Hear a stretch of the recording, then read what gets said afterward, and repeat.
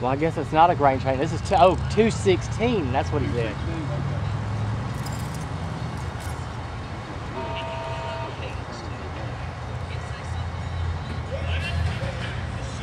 I got him.